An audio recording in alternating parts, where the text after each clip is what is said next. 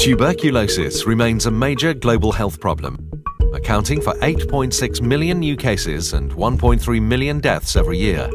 An estimated 15% of tuberculosis cases are attributable to diabetes. Diabetes prevalence is increasing especially rapidly in low and middle income countries where tuberculosis is a serious concern. This double disease burden creates obstacles for prevention and care of both diseases.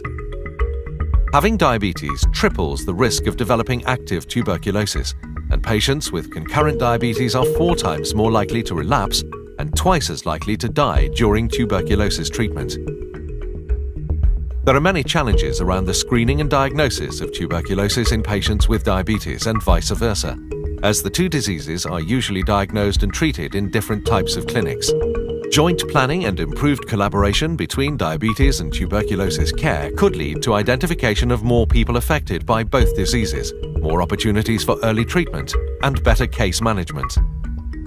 At the current rate of decline, tuberculosis cases will be decreased by about 40% by 2035.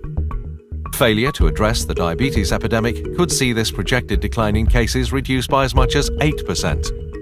However, strong public health efforts to prevent diabetes globally could further reduce tuberculosis cases by 15% or more. To find out more, go to thelancet.com.